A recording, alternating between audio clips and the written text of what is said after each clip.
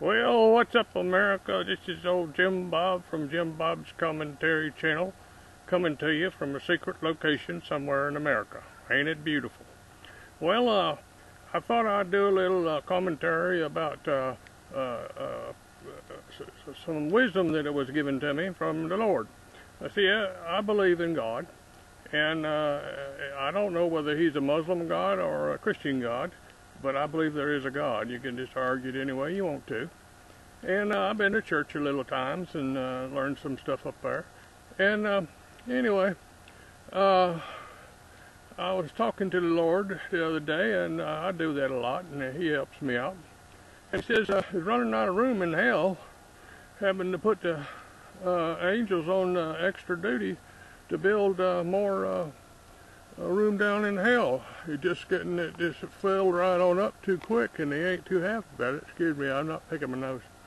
And uh, so I said, well, what's going on? He said, well, he said, uh, them ISIS uh, youngins, they just don't understand the real truth of the world and uh, they're getting killed so gum munches. It's filling their place right on up along with the rest of the Christian uh, sinners uh, doing their crazy stuff, going around and shooting innocent people and all that kind of stuff. Uh, and uh, he said, uh, I can't build it fast enough. He says we're in competition with America. They're building prisons faster as they can, and so are we. And I said, well, but doggone. I said, uh, what about that? He said, yeah. He said, uh, uh, the, somebody's out there telling these young boys that they're going to get 40 virgins if they get murdered in the ISIS thing, and he says they're just lining up right and left, and it's so foolish.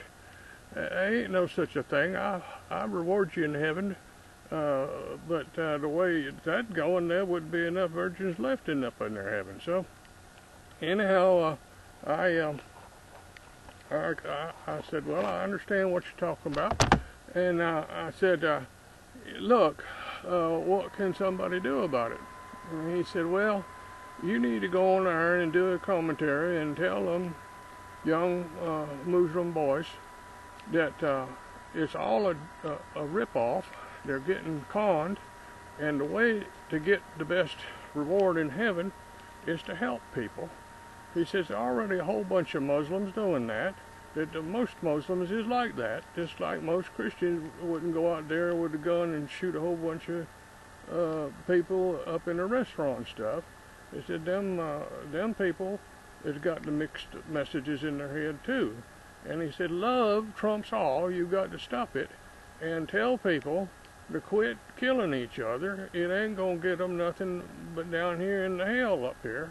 And I can't build it fast enough, and I'd rather just stop and uh, not no more people coming down in there. Now I don't know much about the Muslim religion. Religion. Uh, I don't know if they got a hell or not. Maybe that's the problem, that they need to get one or something. And I always kind of thought that if a God was a good God, whether it be a Muslim God or a Christian God or Jewish God or I don't know how many other ones there are. There's so many of them. But uh, uh, any one of them that you read a little bit about, mostly in the book, I think it tells you to do more good things than it does the bad things.